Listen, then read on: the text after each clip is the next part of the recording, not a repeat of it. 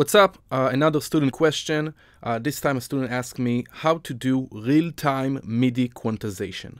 Now there are some Max for Live devices that allow you to do this, but let's see a workaround using only Ableton Live. So uh, you can do this to anything from uh, drum racks, instruments, samplers, anything you want, anything you want to play and have it quantized in real time. So I'm gonna use a sampler. Um, let's uh, load a sample from the amazing 813. Just drop it in a audio track. Um, I already have it warped and let's only take like four bars out of it. Let's say this. Okay. I'm gonna open up a new MIDI track and I'm gonna drop it down here. Oh, in the MIDI track. I'm gonna drop it down here. Uh, so it's loaded up in a simpler and we can even right click and crop the sample. We don't need the rest of the song. We only have this, nice. I'm gonna put it in slice mode. Let's take the sensitivity down. We don't need so many slices. And also playback through, meaning that when I play a, slice, it's gonna play that slice and then it's gonna continue to play through the rest of the sample. So I'm gonna launch it. Nice. And now I can kind of do live loop cutting. I can kind of uh, play around the different slices and rearrange the sample in real time. Uh, let's uh, load uh, my webcam here. Uh, so I'm just going to play with the keyboard. It's the ASDF kind of the white keys and the W is the black keys. And you need to go down an octave with Z or up an octave with X in order to get to uh, C1. C1 is where the simpler start receiving notes for the slices. So we got uh,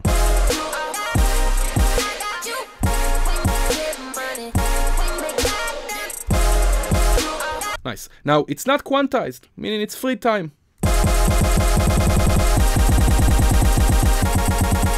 Right? Which is great, but if you do want to quantize, and again, this is for everything from drum racks to instruments, uh, let's see how to do that. It's a bit of a workaround, but it's a very cool solution. I'm going to delete this audio track. We're only going to be left with a simpler. And now I'm going to create a new MIDI track.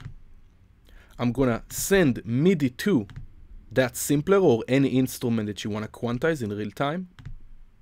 I'm going to set the simpler or the instrument uh, to monitor input so we won't even have to arm it. It's always receiving MIDI. So now I can just arm this track and already launch it. Excellent. Now I'm going to start creating clips. I'm going to create a clip and I'm first going to put uh, the simpler requires C1 for the first slice. So I'm going to put C1, hit legato. So it's stretching the uh, note for the entire bar. And I'm also going to turn off the loop. Nice. I'm going to duplicate that. Duplicate that. Note above. Duplicate that. Switch the note to a note above.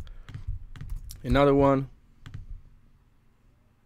and one more because we have uh, six slices right? Yes we have six slices. So that's all we need. If you need more notes of course continue and duplicate uh, and change the note to a note above. And you can do this um, just one time and then save the track or save the project as a template.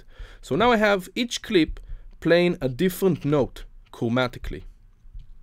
Excellent. So it's being sent to uh, the simpler so if I launch the first clip launching the first slice, second, second slice, and so on. Excellent. Now we can use the power of the session view to quantize in real time. So they're already quantized according to the global quantization engine, so we can simply just change this to anything we want.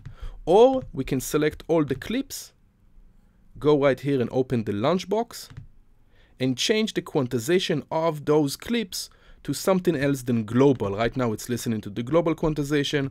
We can change, for example, to eighth notes. And now it's quantized. Now I can map, keyboard map, or MIDI map those clips. Let's keyboard map them. Let's do A, S, D, F, G, and H. I'm gonna turn off keyboard mapping mode. I'm also gonna turn off my computer keyboard uh, acting as MIDI so it can receive those keyboard mapping uh, and that's it. And now we can play it while it's quantized. So we quantize it to eighth notes. Even if I launch it really quickly only eighth notes.